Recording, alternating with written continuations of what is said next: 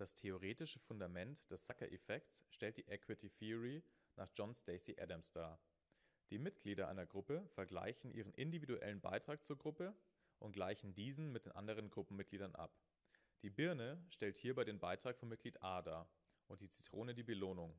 Der Beitrag ist hier viel größer als die daraus folgende Belohnung. Für Mitglied B stellt die Zitrone den Beitrag und die Birne die Belohnung dar. Hier ist der Beitrag wesentlich kleiner als die Belohnung. Wenn diese Differenzen innerhalb der Gruppe zu groß werden, kann daraus der Sucker-Effekt entstehen. Beim Sucker-Effekt reduzieren die Mitglieder einer Gruppe ihre Leistung als Zeichen des Protests gegenüber dem offensichtlichen Fehlverhalten anderer Gruppenmitglieder. Der Sucker-Effekt wird im Folgenden anhand der Gemeinschaftsküche einer WG gezeigt. Die fleißige Feline räumt morgens die Geschirrspülmaschine ein und freut sich, dass abends das ganze Geschirr wieder sauber und hoffentlich von ihren Mitbewohnern eingeräumt ist. Sie hat ihren Beitrag für die Gruppe dadurch geleistet. Die gehetzte Gabi wollte ihr Geschirr noch schnell in den Geschirrspüler stellen, doch leider ist sie wie immer zu spät dran und muss schnell los.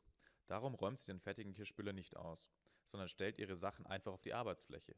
Die fleißige Feline kommt nachmittags wieder nach Hause und stellt genervt fest, dass niemand aus ihrer Wohngemeinschaft den Geschirrspüler ausgeräumt hat. Sie empfindet das als unfair, denn sie hat ihn ja schon eingeladen und angeschaltet. Damit die Unfairness nicht noch größer wird, beschließt sie, den Geschirrspüler nicht auszuräumen und den anderen Mitbewohnern nicht noch mehr abzunehmen. Der faule Finn ist am späten Nachmittag auch mal aufgestanden. Damit er sein Frühstück einnehmen kann, sucht er im Schrank nach einem Teller. Doch dieser ist leer, da alle sauberen Teller im Geschirrspüler sind. Aber anstatt den Geschirrspüler auszuräumen, nimmt der faule Finn einfach einen Teller für sein Frühstück heraus. Dadurch stapelt sich das Geschirr auf der Arbeitsfläche weiter. Der faule Finn hat keinen Beitrag für die Gruppe geleistet, obwohl er genug Zeit dafür gehabt hätte. Am Abend ist die gehetzte Gabi auch wieder aus der Universität zurück und alle Mitbewohner treffen sich in der Küche.